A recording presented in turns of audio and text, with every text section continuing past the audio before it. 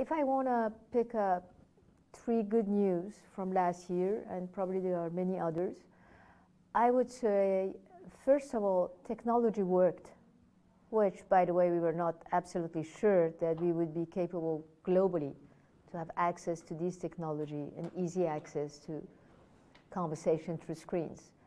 The second thing, which was, uh, which is even more important, human lives matter. And ultimately, what makes it important is that all over the world, whatever the regime was, mostly, but it has been decided to uh, look at the safety of people uh, uh, where they were threatened uh, rather than economy and letting people die. And the third one, even more important, human interaction matters really. We definitely need to be in touch with each other.